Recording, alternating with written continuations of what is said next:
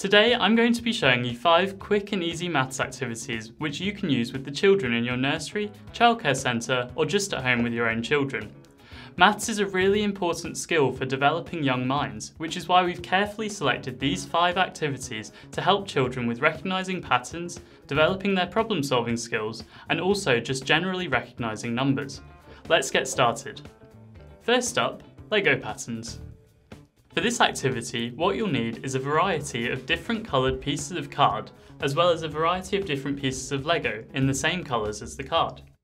You can set up the room by dotting the card around on the floor and mixing up the Lego all together so there's a variety of colours together. Then, when the children come in, you can ask them to sort the Lego and match it to its corresponding card.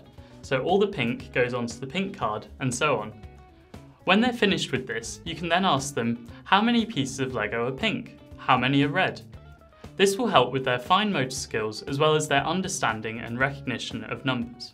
Next up is an activity called Missing Numbers. For this activity, what you'll need is craft sticks, clothes pegs and a permanent marker. To get started with this one, what you need to do is line up the craft sticks and write the numbers 1 through to 10 onto them, leaving some numbers out. For example, you might leave out 3 and 7. Then what you need to do is write those numbers 3 and 7 onto the clothes pegs. Before the children come into the room, mix all these in together and then when they're ready, it's their job to match up the right clothes peg to the missing craft stick. Then they'll have a full set of numbers from 1 through to 10. Depending on the age of the children, you may want to go slightly higher or slightly lower with the number range that you're choosing, or the number of gaps that you're asking them to fill in. It's up to you. Number three, smack it. So for this activity, what you'll need is a fly swatter or a spatula from the kitchen, one for each child, as well as numbers on post-it notes from 1 through to 6, and a six-sided dice. Once you've arranged these post-it notes on the floor and given each of the children a spatula, it's then your job to roll the dice and theirs to quickly hit the number that they see.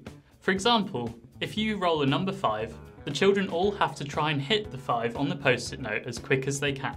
This will help with their fine motor skills and number recognition. Next one's called Straws and Pom-Poms. For this activity, what you'll need is a straw for each child, a variety of different pom-poms, as well as three or more containers labelled with a different number on each. So once you've given each child a straw, what they then need to do is try and fill each of the containers with the right number of pom-poms depending on what's listed on the front. Once they're finished, you can go through and double check that they've got the right number. This is another great game for children to help recognise numbers and also just a bit of fun. And lastly, egg cracking. For this activity, what you'll need is five different coloured pieces of card, a permanent marker, a hole punch and scissors.